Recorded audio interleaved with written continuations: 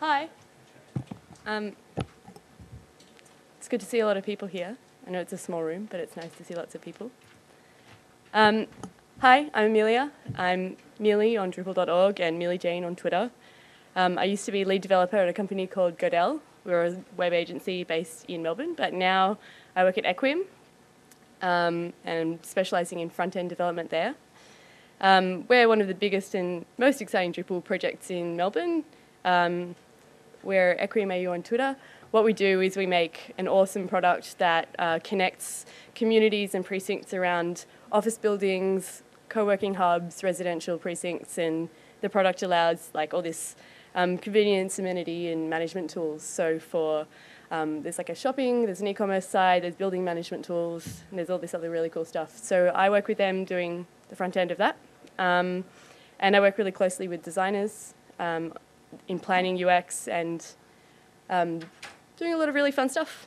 I've been working with Drupal for about four years or so, and I've worked on lots of different theme systems and made lots of different cool things, from very big e-commerce sites to small, crazy, experimental JavaScript fashion sites and cutting edge theme stuff and also really old school IE8 compatible theme stuff. So that's who I am. And this is um, about this talk. So it's called Red Flags.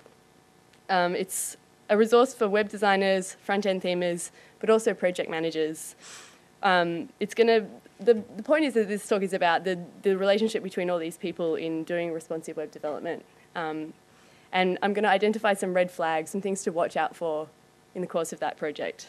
Every time I flag something, you'll see a flag. So if you're taking notes and looking down for things to talk to your team about, you can take those down. So show of hands, who's a developer here? Do we have any designers? Some designers? Do we have any project managers? And who's, who's working with responsive websites? It must be pretty much everyone. Cool. We all want to work mobile first, but you can't always get what you want. We all know that this is like the dream, that we want to like have these mobile first designs, these mobile first builds, it's going to be so beautiful and so easy, but it's just not always the way that it goes. And that's the reason why this talk exists, because we don't always end up with this like very simple mobile first process. And you know, responsive design is web design. Taking this from Yump, who gave a talk about this.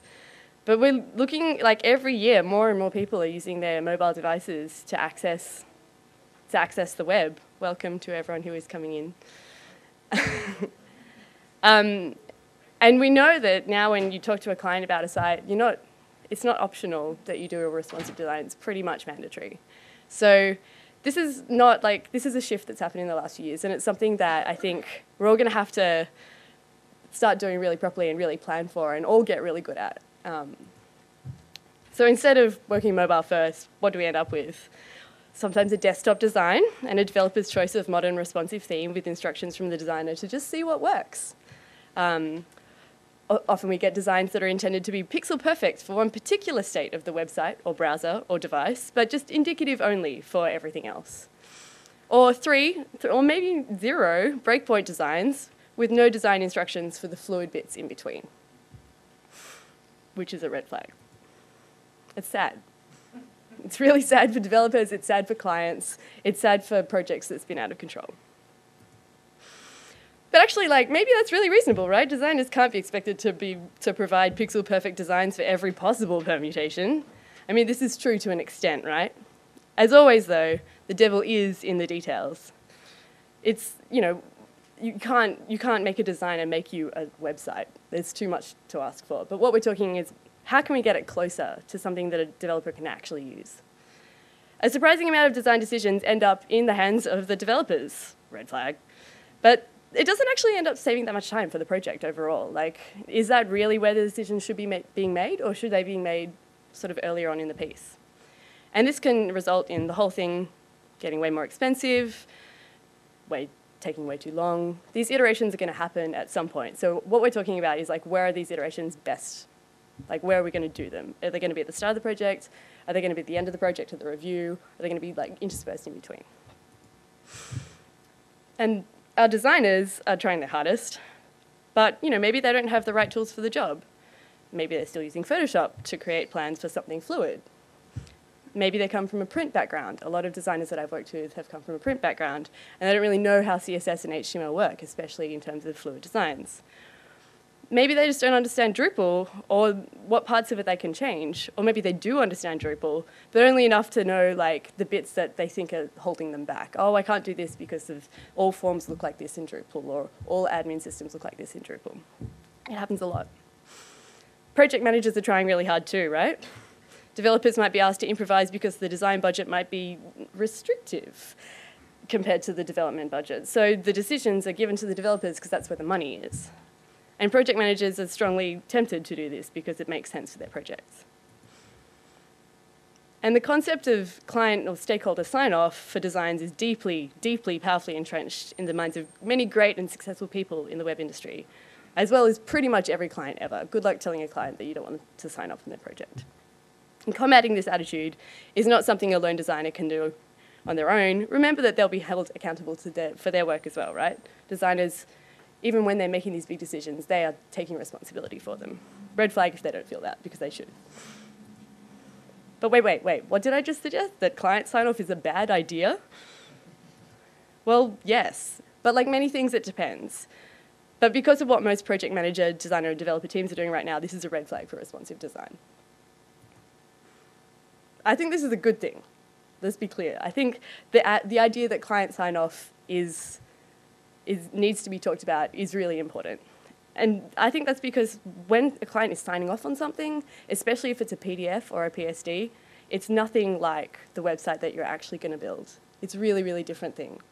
Um, and I don't think you can sign off on, a on like a PDF if what you're going to be building is a fluid, responsive website. They're completely different. So I don't think that sign-off means anything. There's two primary hurdles to that design being sign-offable, and clear industry trends mean that these two hurdles are getting bigger and more important every year. Development and design have to be iterative and innovative, which means that one sign-off isn't really going to be sufficient anymore. And allowing for a single waterfall design based on a single wireframing session is counterproductive to both of those goals. And of course, the tools that people are using, especially Adobe Suite, are just like getting further and further away from what we're actually building. So here's an example. A designer using Photoshop needs to represent a page containing some basic rich media like a custom video player. So maybe it's a, it's a video player and it, it needs to not be YouTube or Vimeo. So they've used some basic tools in Photoshop like filters and they've made a translucent overlay that applies like a blur on the underlying content. That seems simple enough in Photoshop.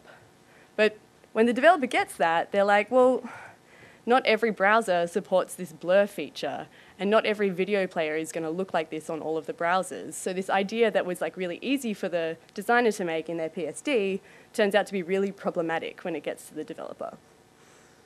And the client's already signed off on it, so now we're in a problem. Web standards such as CSS and JavaScript plus old Internet Explorer browser versions are really poorly equipped to handle every single thing that can be done in Photoshop. There's no like one-to-one -one comparison of what can be done in Photoshop and what can be done online. And as a result, project managers end up having to do all this work, analyzing every design, seeing what's possible, going over it over and over again, trying to document everything. And the larger the project is, the worse that that becomes. So much time gets spent on doing that. And then, of course, res responsive design just adds this whole other level of problem into that. Like, this video player now also has to work on all screen sizes. There was only one design provided. It just goes on and on. So simple assumptions can end up being even geometric impossibilities. So that's sort of an outline of the problem. So now I'm going to talk about what we can do about it. The first thing I think we can do about it is get designers to do things better. So here's some tips for designers. Number one is use the right tools. Photoshop. I'm still, even last year, even this year, I've, been, I've seen designs handed over in Photoshop. It's just not really the right tool anymore. So if you're a designer or if you're working with a designer using Photoshop, you should flag it and offer them a better option. Layers don't really make sense for presenting different pages. They're just not, like Photoshop is a photo editing tool essentially. The idea of like using it for web design is really outdated now. You either have to export it to a PDF or access it in a Photoshop file. Both are pretty bad hard to use, hard to measure, hard to see how much padding, margin, what type of font is being used, blah, blah, blah. All that stuff becomes really problematic. Photoshop is also really expensive, and it causes a lot of double handling, which makes it even more expensive. you can't prototype anything in Photoshop. You can't see how anything is going to look online. And it only has a really loose, like, if any, sense of hierarchy. So the DOM structure is really difficult to represent. You can't really say what's in any semantic elements, what's a header, what's a footer. It's all just sort of one big flat image style. InDesign, it's better, but it's still not perfect. We've used, like I've used InDesign a lot. I've worked with designers using InDesign a lot. You can create a style guide in InDesign that works much like CSS. You can actually export paragraph and character styles in InDesign, which is really cool. They actually export to CSS, so you can put it in your site. Um, you can design across multiple layouts. There's like a new option in InDesign where you can put the same page into different screen sizes, which is really cool. You can snap items to a grid, which is really important. You can create master pages, which can represent ubiquitous elements like headers and footers. Um, and you can do this liquid layout thing, which is also really cool. Um, I'll put these slides up later, so all of these um, things are made clear, um, the, the URLs. Um, but this is our tool of choice. It's called Webflow. Um, it's, there are other browser-based responsive tools that are new and shiny that are very similar to Webflow, but Webflow is really cool. It's like Dreamweaver, but it's like in the browser, it's so much better than Dreamweaver. It's pretty mind-blowing what this tool can do. So you can design using actual CSS, you can learn about CSS while you design, but it's like a drag and drop clickable interface with buttons instead of writing code. You can create reusable classes that you can apply to elements. You can prototype basic animations, or you can use their pre-made JavaScript snippets or import your own. There's revision history, so you can go back and forth through time to see your designs over time. And you can export it as working HTML5 ready code. Developers also think you're really smart because you give them a really awesome handover package. But if you've never built a website before by hand, there will be a learning curve as this may be the first time they've encountered technical concepts like the DOM. So if you're a designer and you've never even thought about how things happen on the internet, it's going to be like a little bit of a learning curve, but a good one. This is what Webflow looks like. Um, it's really rad. Um, I'm trying to, I feel like we should have a different view for this thing, this slides. Yeah, maybe we'll use this instead. I don't know if it'll, no, it won't control from there. Okay, had some technical issues, we'll have to use this. Um, basically, it's a, there's like um, a panel of buttons on the right, and uh, they're all like positioning, um, overflow, all, all the basic like block, block level stuff, height, width, and they're all configurable in like fields that you can actually type stuff in, and it makes the UI happen in front of you, and then you can export it and it's working code, which is really cool.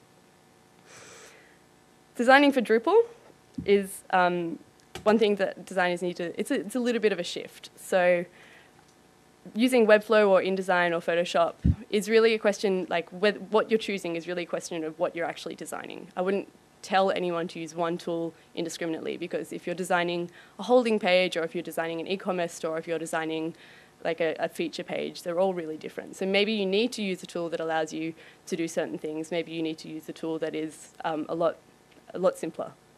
So um, we often use a combination of these tools, depending on what we're doing. Not everything needs to be prototyped. So maybe some things can be done in a style guide. Maybe some things need to be done in Webflow. It's up to you. Um, consider what responsive functionality you actually need to describe for each page that you're designing. And yeah, just use your best judgment. And where possible, look at what Drupal provides you in terms of markup. So if you can, find out the basic elements that Drupal are giving you on this page that you need to design so you can start there. But I'll talk a bit more about that later. Prototyping. Um, prototyping is really cool. I'm a developer, I obviously think that. Um, we live in a world where the web isn't just a static image cut from the page. We can't just like take a PDF and put it on the internet anymore. Contemporary websites include animations, interactions, even little gradual hover effects and fades. All of that stuff is really important and so important to specify in your design as well. Um, a static design provided to a developer, like in a PDF or a PSD, pretty much never includes any sort of animation spec um, it's just overlooked. And then at the end, while the project is being built, those changes start to be made and often can take time because they haven't been specified at the start. So if you're not getting one, you should ask for one. This might sound crazy, but I actually think that designers can learn to prototype as well. And I think it can make designers better at their jobs if they can provide those prototypes to developers. Prototyping is really cool. These are some of the tools that you can use to prototype. Um, InVision is a really cool app that um, allows you to have clickable hotspots. Webflow, we've talked about, Macaw is similar to Webflow. Codrops is a really cool website where you can actually um, see patterns that people have created and look at the code and um, give that to a developer as an example. CodePen is um, another website like that where you can sort of, there's three different panels of coding and then um, for like HTML, CSS, JavaScript, and then a result. So you can see the results of your code. And Simply Test Me is an awesome Drupal site that um, allows you to spin up a Drupal instance and actually look at what it provides you at that time. And so if you're trialing a module or um, someone has offered you a theme that you want to use, you can spin it up and look at what that provides you straight away. So all of those things are completely open to designers and I think it's really important that designers get involved with that and start prototyping stuff before jumping in. So you don't just like create something that's impossible to actually build, especially in Drupal. That said, designers can provide us some prototypes that sometimes are a bit tr tricky to actually build in reality and you don't it's, it's worth talking to a developer before you hand it over. Like, I found this prototype. Is this actually possible? Can we work with this? Third thing I think that designers should do is create a style guide. Um, John Albin is currently doing a talk on style guide driven development, so if you're really interested in that, you should leave and go to his talk.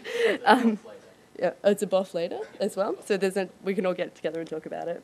Um, but say I have rough early designs or wireframes provided, and we look at the content structure and there's a few pages that haven't been designed. This happens all the time, right? What's the best way forward? Should we ask the designer to make more designs and get more client sign-off? Probably not, because that's just going to spin, spin us around in circles. But we've got a better idea, which is to use the style guide. So style guides follow the 80-20 rule. They do 80% of the work in about 20% of the time.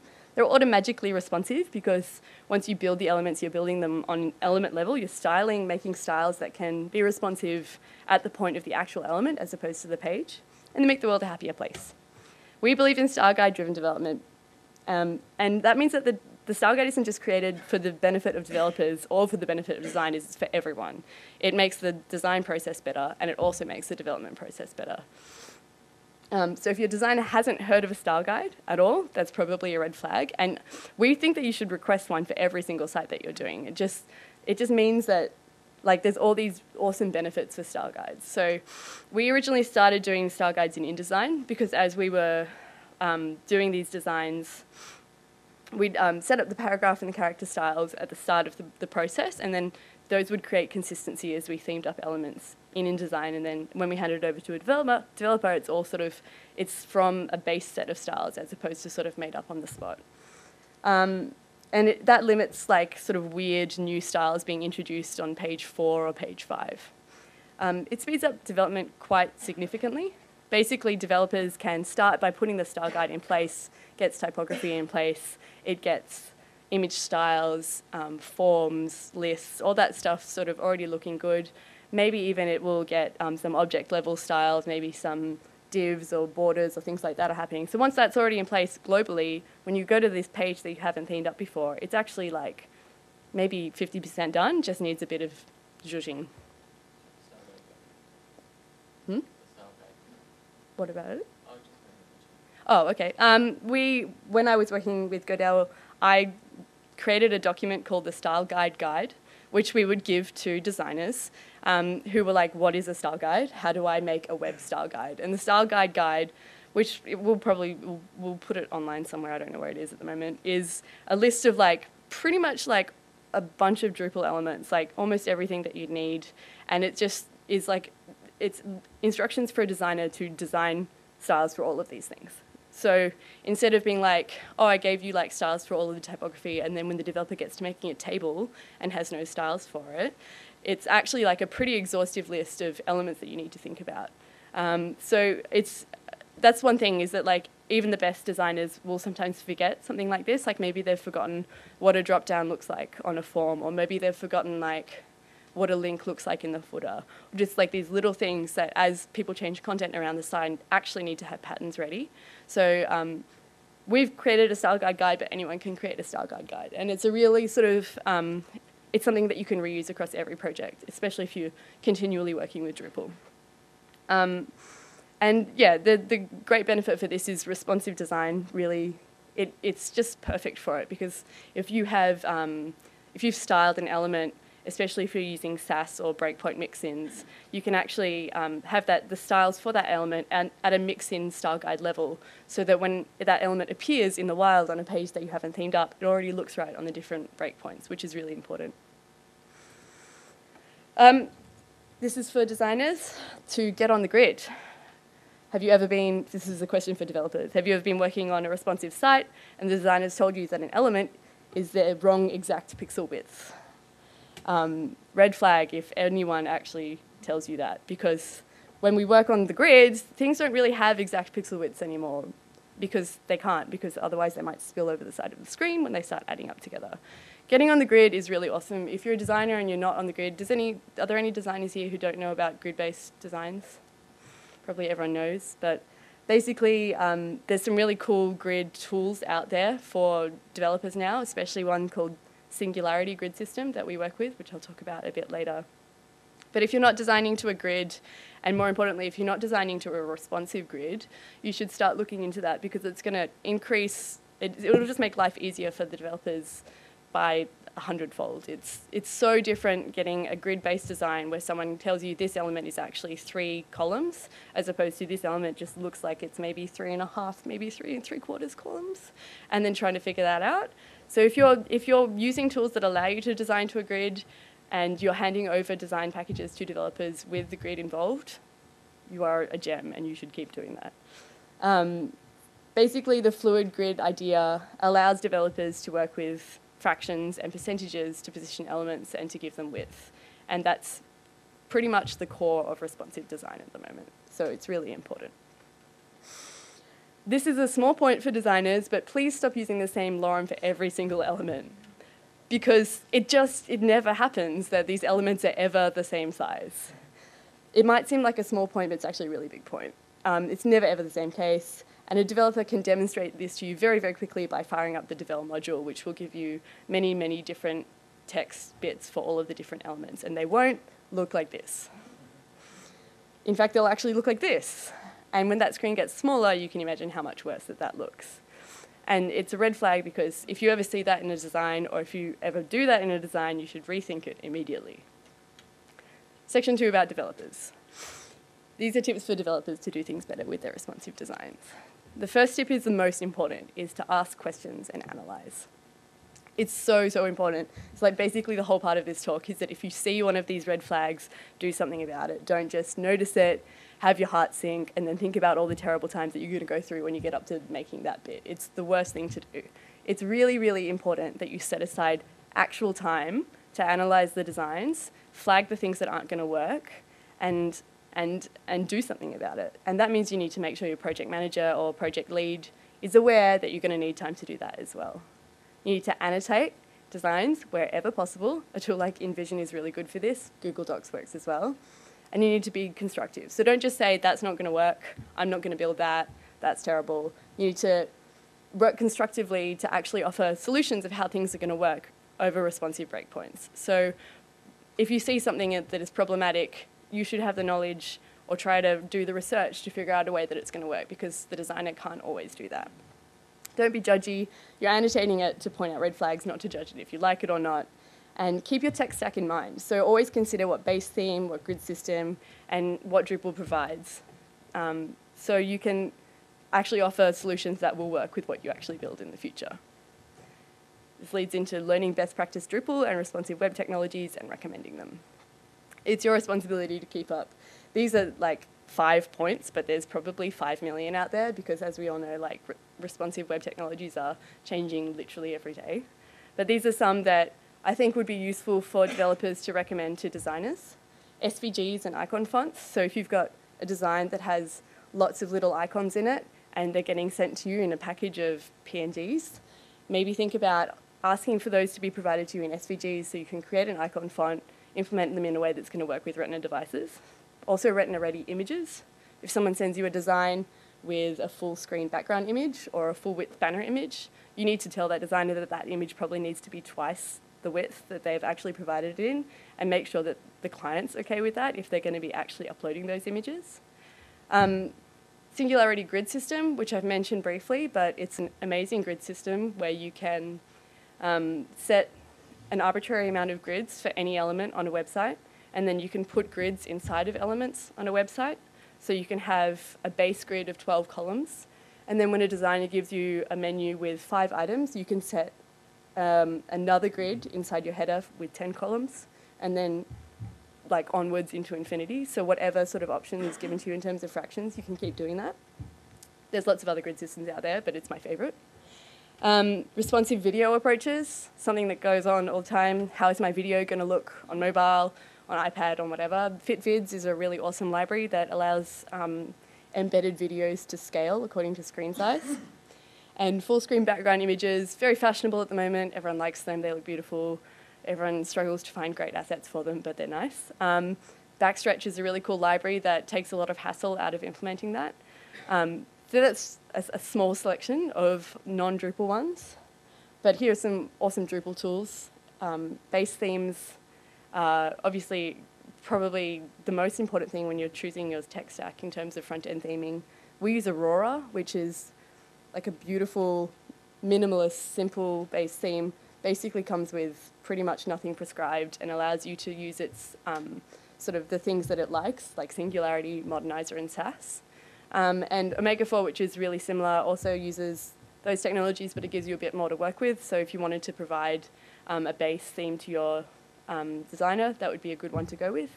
But um, we use Aurora because what we our designs are super custom. They don't really represent anything we've ever seen in a base theme, so it works best for us. We did, can start from scratch.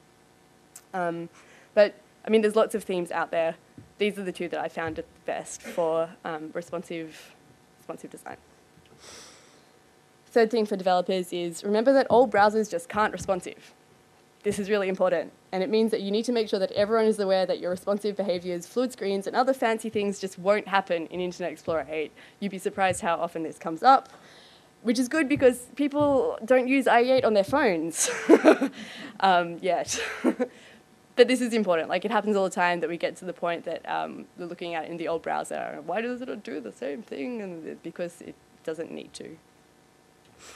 So the last part of the talk is red flags in the wild. So I'm going to identify some patterns um, that you might have seen, you might be currently using, um, you might be thinking about using. They're not very complicated, but it's sort of to give you an idea of the thing that I'm talking about. So number one is teasers with images. This is a common summary style. You see it everywhere. It's got a red flag because it is problematic it's a bit of a nope for me. Every time I see it, I'm like, ugh, so many problems. Want to keep the height the same on both sides with the responsive thing? We get some problems with our image getting squished and more squished and then really squished and you can't even see my sushi cat's face. Um, but the more lines that you have means the left-hand section gets taller, which makes the right-hand section taller and skinnier. As you can imagine, it gets worse and worse. Why don't you just keep the image square, Amelia? Um, it's a good idea. I mean, the sushi cat's a square, it'll work. It's working so far, right? But when we get to this point where this left-hand side's like this tall, it's the same size as when we started. um, so, you know, what I'm saying is that this requires planning. It, and it requires planning when you're thinking about what happens in those in-between points between your breakpoints.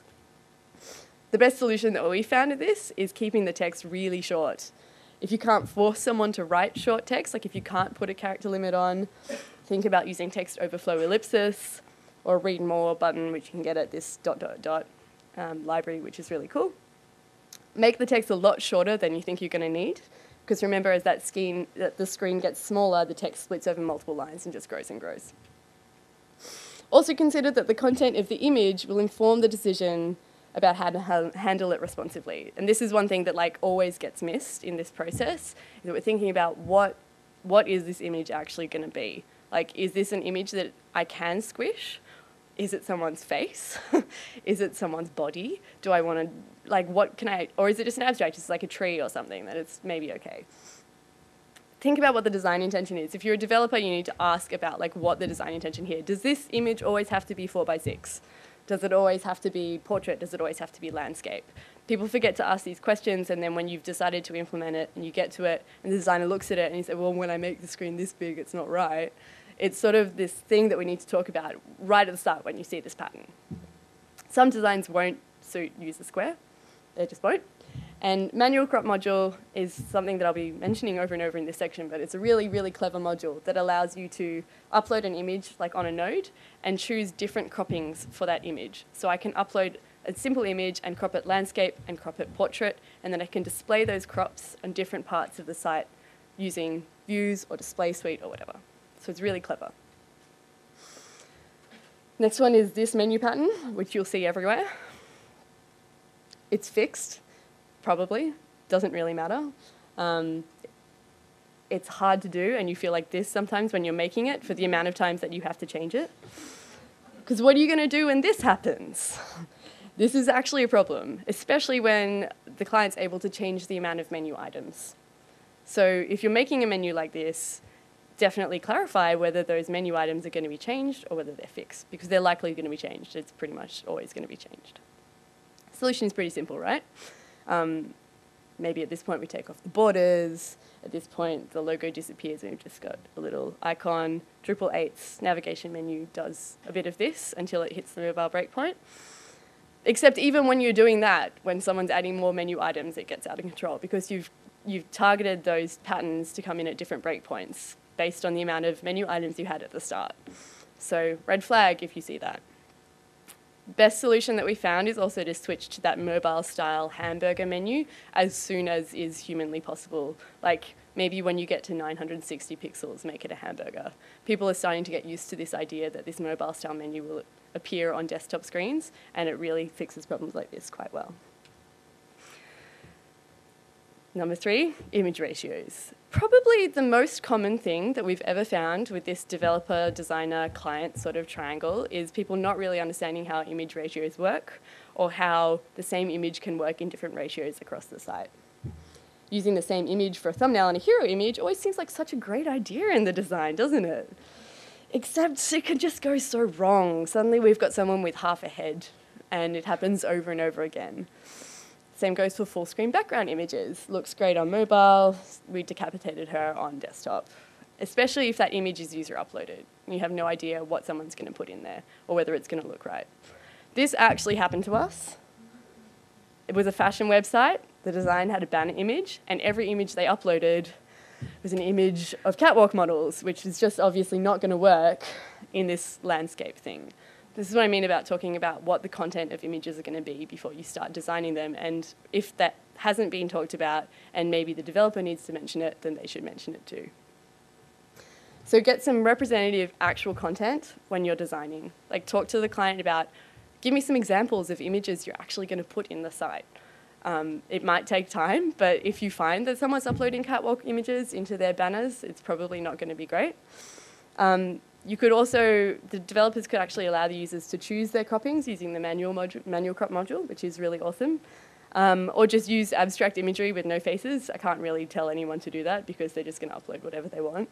Um, or provide an image guide with your site and hope for the best. I wouldn't really recommend that. Number four, grids with images and text, or even just with text. This might look familiar. We've talked about it before. It's because it's very problematic. Every time it happens, we need to talk about how is this grid going to work? How do you want them to be masonry? Do you want them to work on responsive screens? Maybe we want them to like tile together in this like brickwork way. Not always, right? I wanted to introduce this solution because we found it and we thought it was really awesome, where each of these blocks ends up being the same size, like across a row, like irrelevant of what content is inside of it. It's called match height. It's what makes it, it makes developers very happy. So across this, this, these three, on each column, on each row, on each row, it's um, using JavaScript to calculate the height of the tallest item and make all of the things in the row the same height.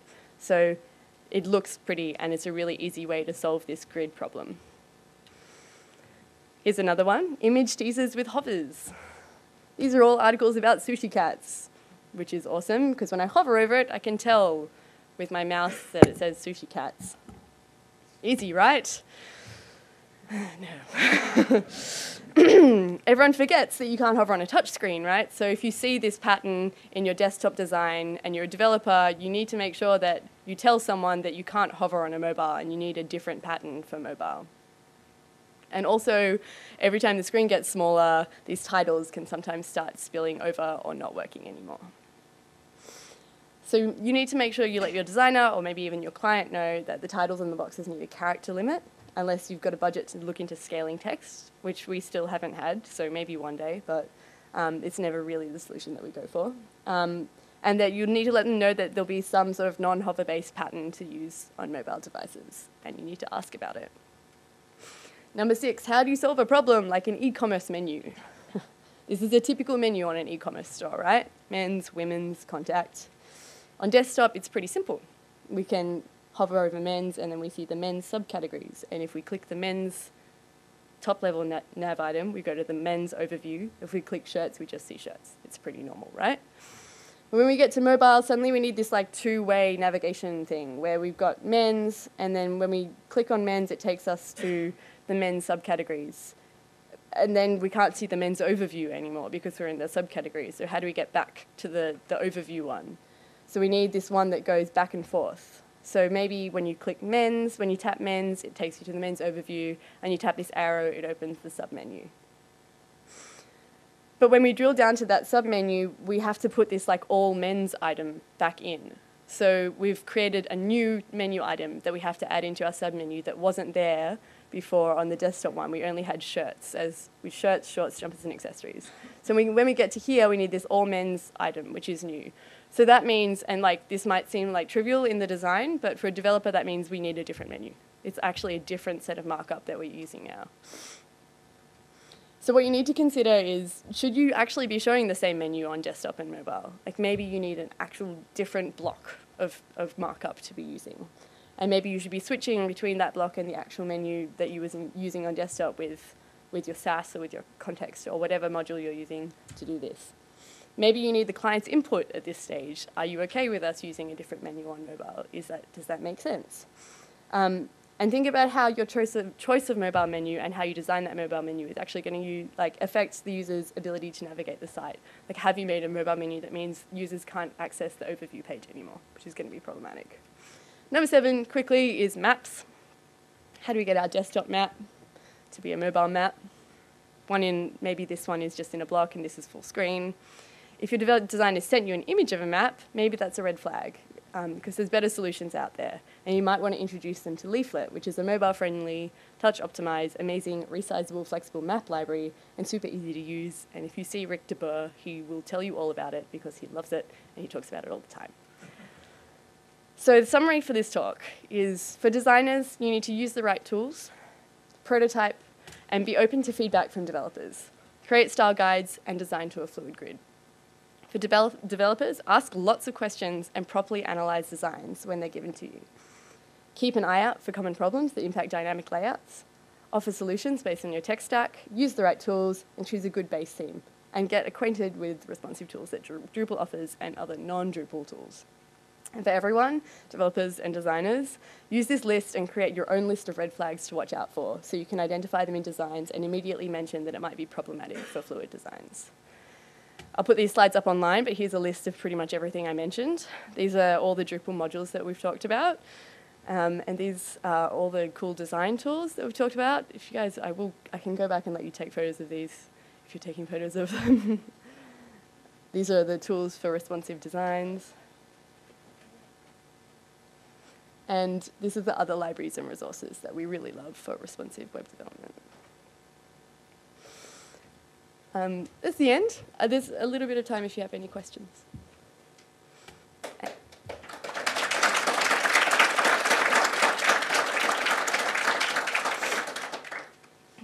Yeah?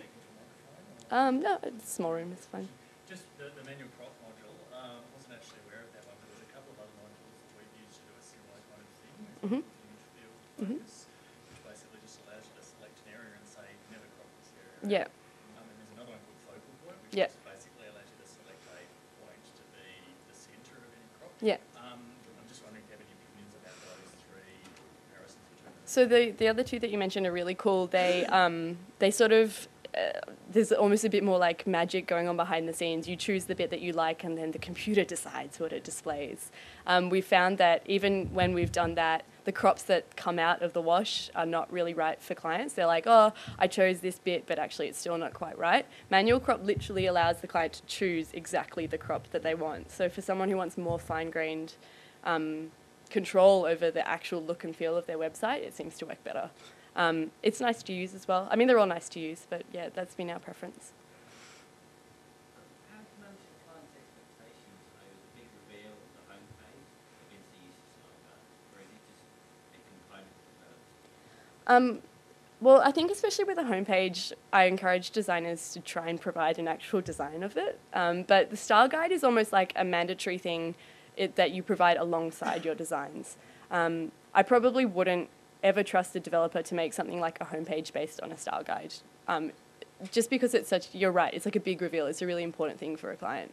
So it's sort of about getting your designers to design up the key, really important bits of the website and choose which ones don't actually need full designs. Like maybe your contact page doesn't need a full design. Maybe um, like the node page for something really simple like a, a, reference or something doesn't need a design. Maybe that can be done by a developer using the style guide. But they should, and it's almost like doing like a MoSCoW style um, like uh, comparison of what is and isn't important. Get the client to be like, I want designs for this page, this page, this page, but these ones I don't really care about. Cool. Hi, Josh. Thank you.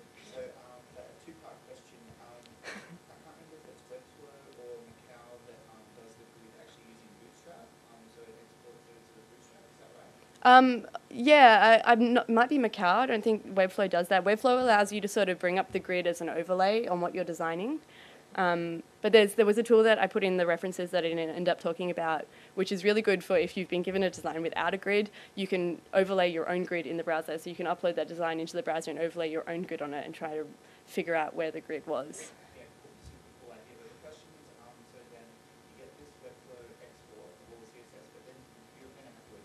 Correct. Not just Singularity.gs, but also to get it onto all of your Correct. So we do like a bit of, um, a, I mean, we haven't fully like rolled this process out, but the idea is that you'll get your export from Webflow, which will be CSS, like nice CSS. They pride themselves on the good CSS that they produce, but then turning those into mixins um, and making them nested and doing whatever you need to do to make it Sass. Um, and yeah, and, and then I, I think, especially with the grid, because the grids can be so complex, like with designs as they're coming up, that it's almost best that you don't get that provided to you by a program. Like it often like requires a bit of developer magic to make it work. So um, yeah, but I mean, even at that point, if you've been given a whole export of CSS that really works, even turning that into Sass is still faster than writing it yourself.